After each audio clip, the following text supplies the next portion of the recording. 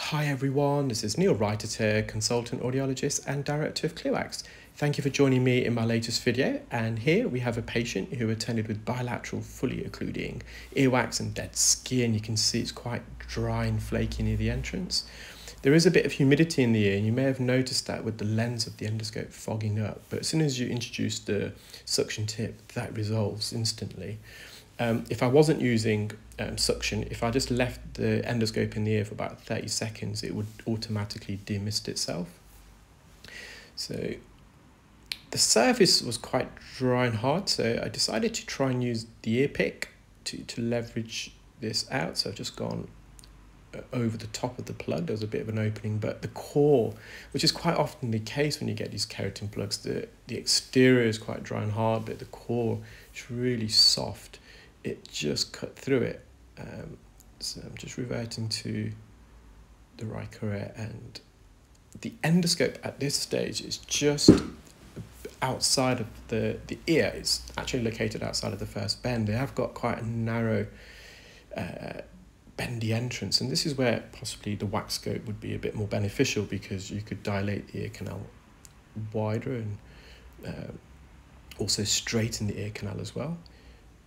So once again, I'm just going to the top and just trying to slowly pull this away and you can see there's loads of skin adhesions. You can see that's quite reflective there, that this fresher layer of skin that's more whiter in appearance.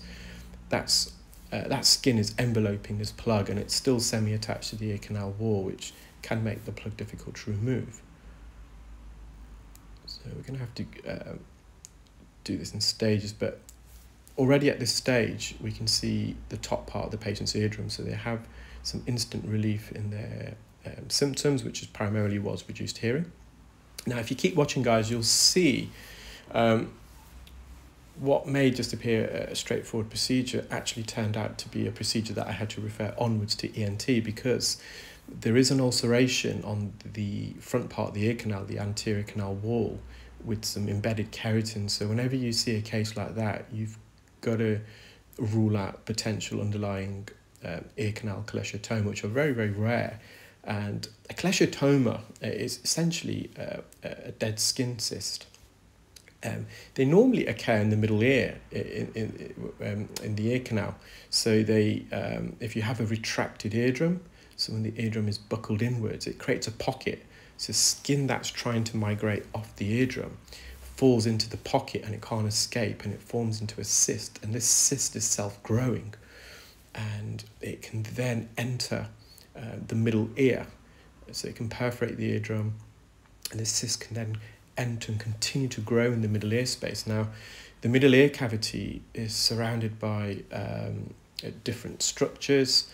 Um, for example um, superiorly so top part of the ear canal and the middle ear you've got the middle cranial fossa, so that's um, the bone that separates the um, uh, the intercranial cavity and the middle ear. Posteriorly so to the back part of the ear canal, you've got the mastoid bone, quite often with a cholesteatoma, not only can it grow upwards towards the brain, but it can also grow posteriorly into the, the mastoid bone. So the, the middle ear is connected to the mastoid bone. There's an uh, antrum there, so a little entrance. Um, you have the facial nerve um, uh, running through the middle ear, so if the cholesteatoma gets extremely large, it can um, it can cause disease and erosion of the facial nerve, so it can leave someone with um, a facial palsy. Um, it can also sometimes grow anteriorly to the front part of the ear canal, uh, where you've got your temporomandibular jaw joint um, and also the parotid gland, so one of your uh, salivary glands is also located more not only anteriorly but inferiorly. So in the case here, it would be more um, southeast. So cholesteatoma, left untreated, can potentially be fatal. Um, a bit rarer is when you have a, the dead skin cyst collecting in the ear canal itself. And in this case, there is a potential for that. And so the skin, um, there's no retraction of this patient's eardrum, but for some reason, as the skin is migrating outwards towards the entrance, it's um, obstructed in some way or the skin migration is slowed down. So the skin itself cell forms into a cyst. Sometimes if patients have um, irregular bumps in the ear canal, that can prevent some of the skin migrating out of the ear because it has to go over the bump and it can't. And then you get a collection of dead skin. And in this case, on the front part of the ear canal, you it's quite evident actually there is an ulceration of the skin, so that the, the epithelial layer of skin that lines the inner two thirds of the ear canal, that's missing, and you've got some embedded keratin. So some of this dead skin is now entering that ulceration, and there is a bit of inflammation in that area. You'll see the ear canal is it's protruding outwards from the front part of the ear canal. So we have referred the patient to ENT and um, as I said, sometimes what something that may appear innocuous um, um, when we hear back from ENT, they've performed a CT scan and have confirmed that there is a canal cholesteatoma and the patient has to end up having surgery. Um, so we've got the more lateral dead skin and wax out. This is uh, more medial now. So I'm just trying to separate it, loosen it off the canal walls. So actually, at this stage of the procedure, the patient's hearing probably would have uh, deteriorated a little bit because I've occluded the ears. By bringing the skin inwards, it's created less of an opening. We can't see the eardrum as well. I thought I'd try the forceps there, but again, it's just a bit too soft. So I'm going back with the Ricorette, and because it's um, streamlined, it's, it's got a tapered tip, I'm able to glide through much narrower parts and openings of the ear, whereas with the previous uh, curette or Jobson Horner used, it was a lot thicker, it was a lot more difficult to do that. And, and in attempting to do that, you may actually push the wax plug, or in this case the keratin plug, further and deeper into the ear. So again, I'm just going to the floor of the ear canal. I'm just giving this a little wriggle.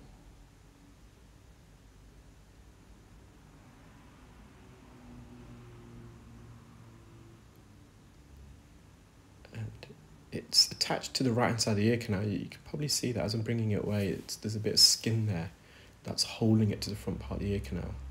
And that's where the ulceration is. So you can see here to the right, the ear canal is protruding now. That may in part be the patient's natural ear anatomy because when we uh, perform the procedure on the left side, the, the anterior canal wall is slightly protruding bulge, but it's quite evident you've got a collection of dead skin here. And that's all the white mass here. So I'm going to try and clear away as much as I can to reveal what's going on underneath. And there's a bit of, you can see there's a bit of moisture there as well, a bit of dampness. Um, when you've got dead skin like this, it can cause a bit of um, moisture uh, collection because of the humidity, but also in the case of a, uh, a cholesteatoma, it does release proteolytic enzymes.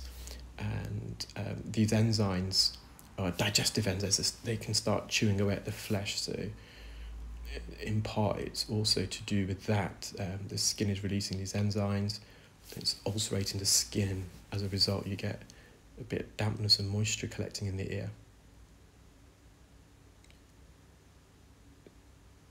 So I'm just mopping up a bit of the entrance first. So now that I've spotted that part of the ear canal where there may be a canal cholesteatoma, I just want to peel away all this remaining skin because we don't know if there's a secondary one potentially there lurking underneath this blanket of dead skin. It's obviously very tricky because you're so close to the canal wall, we don't want to graze it because that would be painful for the patient.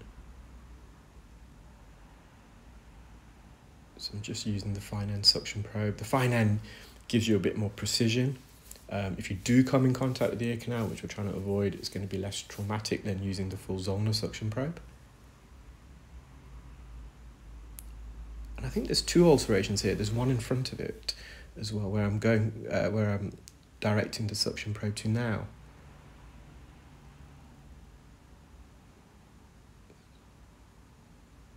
So there's a small ulceration there as well. Now, I didn't get all the keratin out. There was some hardened keratin that was embedded and it was becoming a bit uncomfortable for the patient, so I did leave a little bit.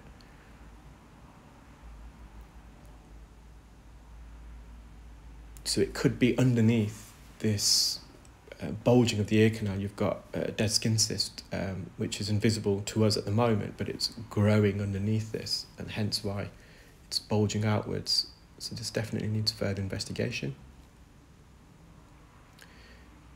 There's no otorrhea, so no real discharge apart from some, some dampness and moisture moisture underneath that skin layer that I peeled away. So hopefully it's nothing to be too concerned by. But if there is here uh, a canal cholesteatoma, this is adjacent to the TMJ, so the temporomandibular joint. So we've got to be careful that it's not invading and being destructive, uh, destructive to adjacent structures that surround the ear canal.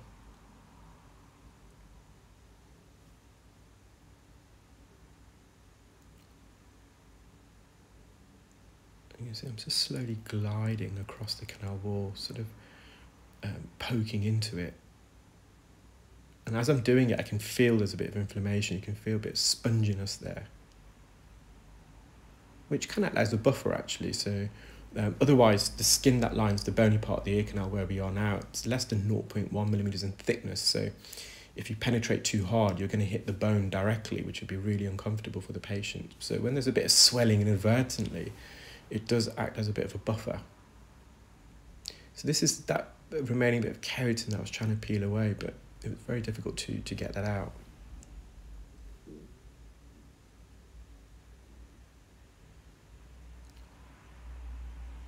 So I'm just now going to peel away some dead skin at the base of the ear canal.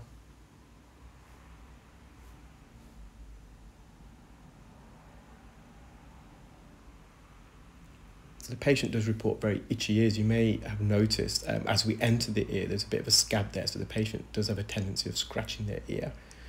So I've discussed strict water precautions. So allowing water in your ear can actually dry out the skin.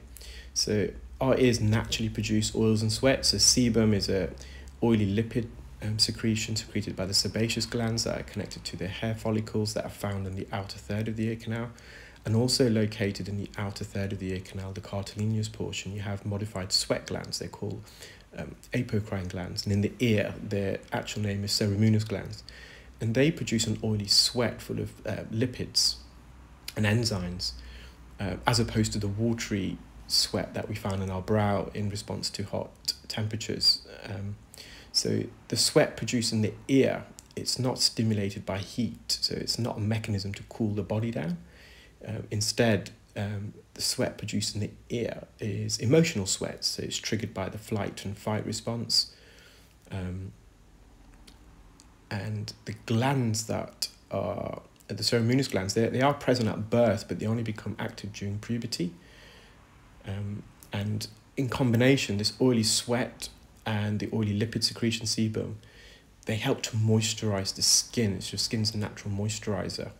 So it sits on the surface of the skin and it helps to repel external water that enters the ear, but it also allows the underlying skin to maintain its natural moisture because obviously oil is hydrophobic. Um, so when you get water in your ear, um, so for example, if you get warm water in your ear, that can break down um, this oil, oily, um, uh, oily sweat and sebum. Um, and it can get washed away. But, even if you have cold water, if it's in the ear, if it's logged in the ear for a long time, it can also still break down this oily lubrication layer. And in the absence of this sebum and emotional sweat, the um, the surface skin then gets macerated, so it breaks down. So skin cells are naturally hydrophilic; they absorb more water. So the skin that lines the ear canal, when you haven't got that protective oily layer, it starts absorbing the external water, causing the skin cells themselves to swell, uh, overhydrate, and they can burst at the membranes, and that it macerates the skin, it breaks it down. And then the water can penetrate further and deeper into the deeper layers of the skin, or if it's the bony part of the ear canal, it can infiltrate the bone, bone part of the ear canal and cause it to get infected. So we're just moving on now to the patient's left ear. Again, very dry skin here, narrow ear canal entrance. So I'm just trying to separate it off the canal wall again. Another benefit this oily uh, protective layer provides to the ear canal that it, it's slightly acidic and the acidity helps to inhibit harmful bacterial growth. So our ears are full of um, uh, what we call skin flora, so natural pathogen, um, natural uh, bacteria uh, and fungi, but under normal conditions they're not pathogenic. Um, so the normal conditions of the ear should be that they're dry, clear of water, um, uh, normal body temperature, and um, should be, it should be acidic. Now, when you wash away these oils that and sweats that are produced in the ear, uh, you're washing away the acidity. So the ear itself, the pH level becomes more alkaline or neutral, which then gives rise to pathogenic bacteria um, from uh, colonizing and breeding in the ear. That can lead to an infection. In fact, we call it swimmer's ear. So um, an infection caused by water uh, entering the ear is called swimmer's ear. So I'm just trying to use the forceps here, but I just found it difficult spreading the jaws wide enough to get encapsulate the whole plug. And again, it was a bit soft at the core. So I've just instilled some medical grade olive oil and simultaneously now just trying to use the right pick, just slowly trying to leverage this out. So I've brought it forward probably half a centimetre and I've created an opening so even at this stage the patient could hear significantly better because the sound is now able to travel through towards the eardrum um, through that opening that we've created. I think I'm going to revert to the curette in a moment, we shall see.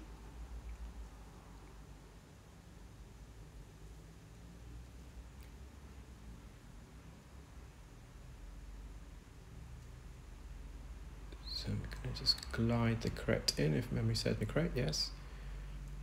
Oh, no, I'm still using the right pick, so I'm just trying to get over and beyond. But the core is just too soft, so as the pick is coming away, It's sort of dragging and extracting this plug, it's just cutting through it. So with the right it gives you a bit more surface area. It's just like a, a an ice cream scoop, really. Uh, so you, you get more more purchase.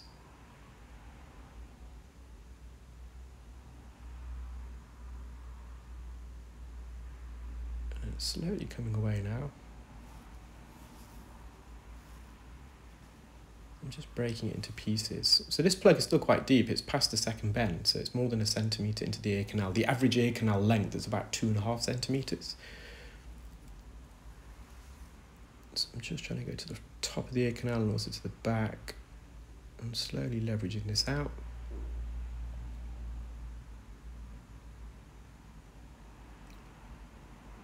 Now, if the ear canal was a straight tube without these bends, it would be a far more easier to use these instruments, but we're, we're using these, uh, and I'm using the angled ones, I, I believe, here, uh, which really does help compared to the straighter instruments when you're using an endoscope, because otherwise you're trying to insert a straight instrument into a bendy ear canal, and obviously it's going to be quite tricky. So the angles that so we've got a bend about 30 degrees and it's located three and a half centimeters from the tip of the curette and it it's a bit like the Zollner suction probe that also has a bend and it just allows better access into the ear so just going to mop up near the entrance so again this patient's front part of the ear canal it is slightly protruding most having saying that most of our ear canals are the anterior canal wall does have a tendency of bulging outwards but there's no ulceration here. They have got a slight widening of the base of the ear canal as well, the floor. And because their entrance is so narrow, the skin plug is, is collecting in that widening, this crater. Um, and because the entrance is narrow, it's finding it more difficult to, to, to, to escape because it's larger than the entrance. I hope you enjoyed that video, guys. Take care, keep well, and speak soon. Bye.